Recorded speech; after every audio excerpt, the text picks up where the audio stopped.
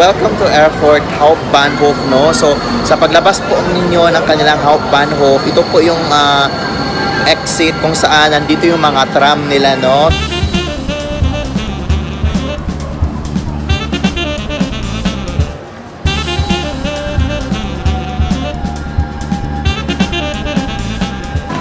Ayan, so sakay po kami dito sa kanilang tram, guys. Napaka-social ng airport.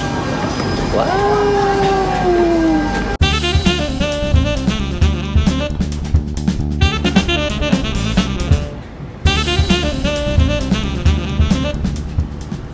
Nag-tram na lang po kami guys kasi ang ulan-ulan kaya ikutin na lang po natin yung buong ano airport gamit ang tram nila kasi free naman. So from one end to the other end. Erfurt is the capital of the Free State of Thuringia. It is the largest city in Thuringia. Severikirche is one of the main sites of the city. In addition, the city has an almost 3 square kilometer medieval old town center with around 25 parish churches, the Baroque Petersberg Citadel, the oldest preserved synagogue in Central Europe, and numerous half-timbered buildings and other old town houses. After Leipzig, Erfurt is the city with the second largest trade fair in the eastern German states. With its main train station, the city is an important railway junction for passenger transport. Tram dito ngayon. Ang dami ditong mga shopping malls, mga kainan, super busy, tapos ano, ma kaya nyo lang puntahan yung mga ano dito, mga Zane Verdict kahit nila gamit yung kanilang tram. Hindi kayo mahirapang maglakad. Diba? Ang ganda. Central Station. Kung gusto nyo mag-shopping, punta kayo dito sa airport. Oh. Next stop, next stop na kami. Kaupanhof na? Hindi pa. Erfurt can be considered as a one young, cool, and livable city. The impressive old town with its beautiful alleys and house facades is something very special. On every corner, there is something to see and pretty cafes or shops to discover. Erfurt is very green. There are many flowers and parks, and the city is surrounded by forest. Erfurt is ever called the Flower City. Birthday po niya guys, si Judith. Happy birthday, Dit. Salamat. Diba? Yan. Libre niya kami mamaya. Kain daw kami doon sa Eat All You Can. Buti na lang talaga nag-ano kami kasi kain na siya. Tram day, tram day na kami. Eh, malapit na po kami sa Hauptbahnhof. Ayan kayo ng Central Train Station dito sa airport. Just ang laki. Tingnan nyo.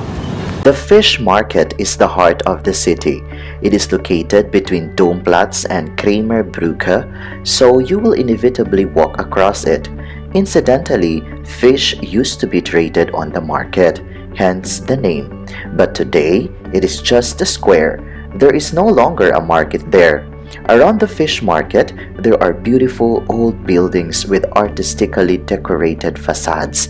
They used to belong to rich citizens of Erfurt, and some houses have their own names. Of course, Erfurt's town hall is also worth seeing at the fish market. Otherwise, numerous restaurants are waiting for you here. Also, worth a visit is the Kunsthalle, which hosts regularly changing exhibitions.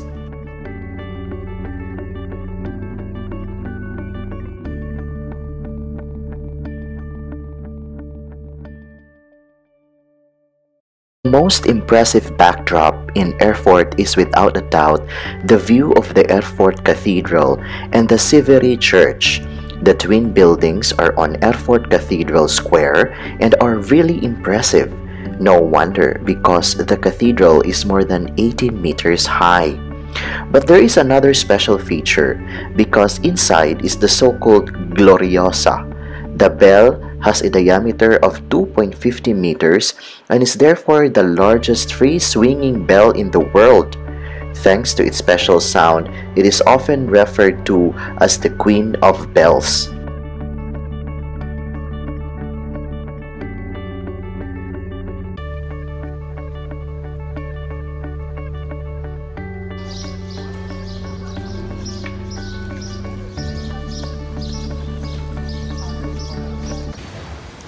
So nito po tayo sa kanilang mga ano no, mga street corners no. So ang ganda-ganda kahit makikitid siya guys, ang ganda-gandang tingnan dito. So pasyal po kayo dito sa ano sa airport. The Kramer Brücke is the symbol of Erfurt par excellence, and as a completely built up and inhabited bridge, it is almost unique in Europe. A walk across the bridge is of course part of a visit to Erfurt. It is particularly nice that the shops on the Kramer Brücke not only sell typical tourist knickknacks, but there are really nice things to discover there. Small individual shops, art galleries and cafes lined up here. There are handicrafts, Thuringian specialties, and with Gold Helm chocolate, So ito po pala isang church no. So para siyang merong tunnel palabas doon sa parang ano din niya, yung parang plaza. Ang ganda, no? As a summary, Erfurt is not particularly complicated to explore, and you will get by just fine without a guide. If you have only one day in Erfurt, you can take the tram or you can just walk around the city and have a quick city tour, and it is just right for you. Thanks for watching sa aming tram trip dito sa airport. Cheers!